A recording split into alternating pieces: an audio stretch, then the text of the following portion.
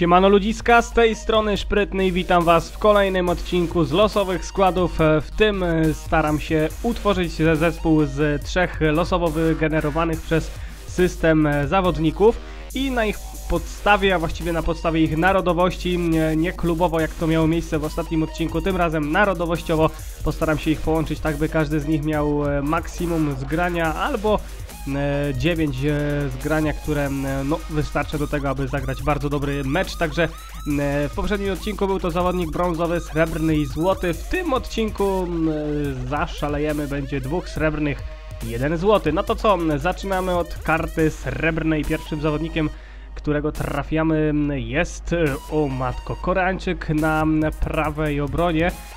No jestem ciekaw ile on będzie kosztował FIFA Award, to mogą być e, czasami duże pieniądze, no jeżeli będzie na przykład kosztował około 50 tysięcy końców, no to wtedy no wtedy na pewno go nie kupię. E, No dobra, czas na kolejnego zawodnika, tym razem złotego, e, będzie to Holender, Dost, E, no Powiem wam, że z takim napastnikiem to mm, raczej bramek zdobywać nie będę, dlatego dużo zależeć będzie od ostatniego trafu i od tego, kto będzie partnerem w ataku Dosta.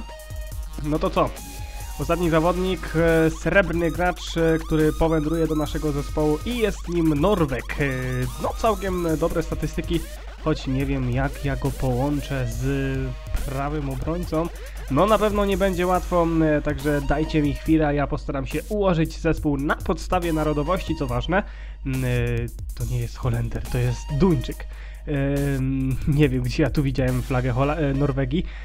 No wybaczcie, wybaczcie, bo być może również na moje myślenie ma wpływ e, moje zdrowie, które możecie sami chyba po głosie usłyszeć, że nie jest do końca dobre. No to co, dajcie jeszcze raz, e, przepraszam jeszcze za tę pomyłkę, dajcie mi moment, a ja staram się za moment utworzyć jakiś skład, skład, który, no miejmy nadzieję, będzie to 100% zgrania posiadał.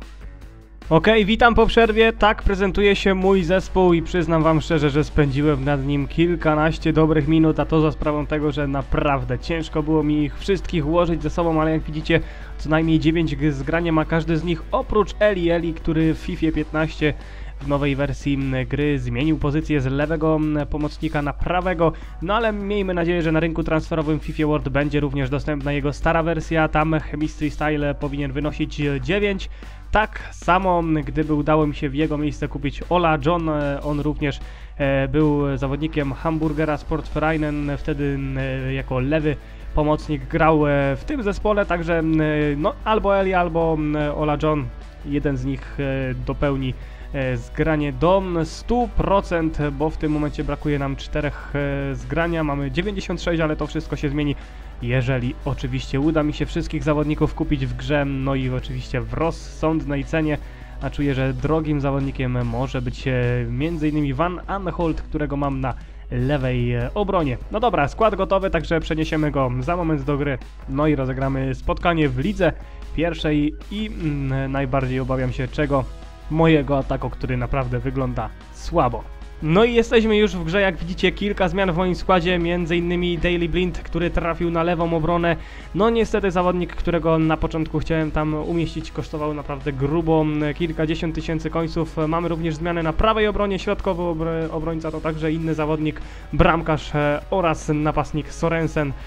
No cóż, kilka zmian miejmy nadzieję, że nie będą aż tak istotne, że takim składem uda nam się pokonać rywala, który ma skład brazylijski, bardzo dobry w obronie Luis Silva i Dante. No, bramkarz mógłby być lepszy, do tego Kaka Hernandez, no bardzo dobrze wyszkoleni zawodnicy, również i Diego.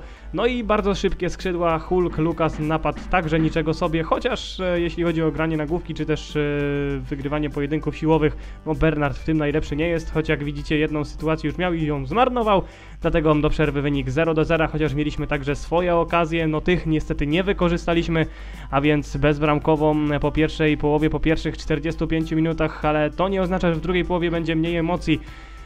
Statystyki wyrównane, choć lekko na korzyść mojego rywala. Już na początku drugiej połowy mogliśmy objąć prowadzenie, ale kontrowersyjny, spalony. Jak widzicie, VA liczy się każdy centymetr, każde źdźbło trawy.